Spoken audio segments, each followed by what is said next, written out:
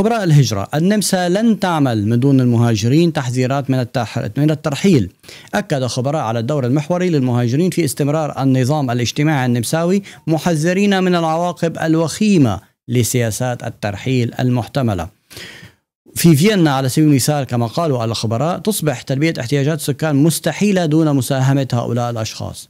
يعني عرفانين يا ساسا يا نمساويين يا أيها الحكومة يا جيرهارد كارنر يا آه، يا آه، آه، كارني هامر المستشار عرفانين إنه إنه النمسا لن تمشي ولن تستمر ولن الآلة النمساوية والمعامل والمصانع وكل القطاعات لن تعمل دون هذا ضمن ضمن الوافدين والمهاجرين هؤلاء المستمرون بقدومهم إلى النمسا.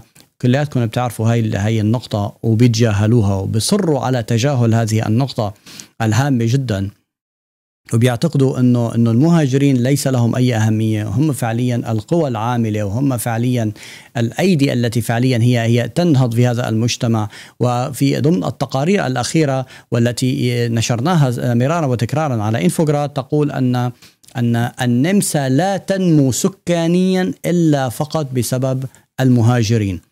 وبالتالي وبالتالي هم يدركون أهمية المهاجرون وكل ما نسمعه أتمنى للذي يستمع إلي الآن ويراقب أن كل ما يسمع وكل ما يشاهد هو ليس أكثر ليس أكثر إلا بفعل بفعل الحالة السياسية التي التي تعمل عليها الساسة النمساويين للفوز بانتخابات ولأن يبقى كارني هامر المستشار النمساوي لفترة إضافية.